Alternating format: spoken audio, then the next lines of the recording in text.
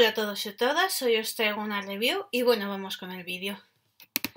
Bueno, lo primero de todo, como en vídeos anteriores, si me veis la nariz es porque la rompí, todavía estoy en proceso de recuperación, pero bueno, vamos allá. El libro del que os quiero hablar es Los Crímenes del Monograma de Sofía Jano, os dejaré aportar por aquí o por aquí porque ahora mismo no lo tengo. Es un libro que he leído que está basado en las historias de Poirot, de Agatha Christie. En este caso se investiga tres asesinatos que ha habido en un, en un hotel muy famoso de Londres y que nada parece encajar en lo que realmente es.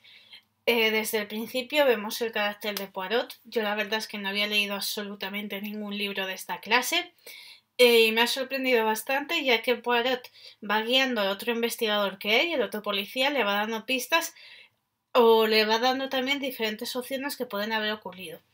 La verdad es que es un entramado bastante gordo, bastante difícil de descubrir, pero nos van lanzando pistas a lo largo de todo el libro que nos van cuadrando muchísimo y que nos damos cuenta realmente cuando llega al final del libro y Poirot nos hace toda la exposición de los hechos.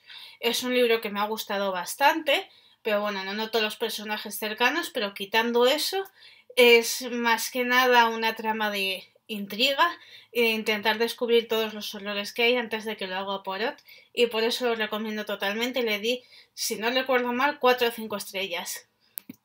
Y bueno, hasta aquí la review. Como siempre espero que os haya gustado, que le deis a me gusta, suscribáis a mi canal y lo compartáis en todas vuestras redes sociales y muchísimas gracias por estar ahí.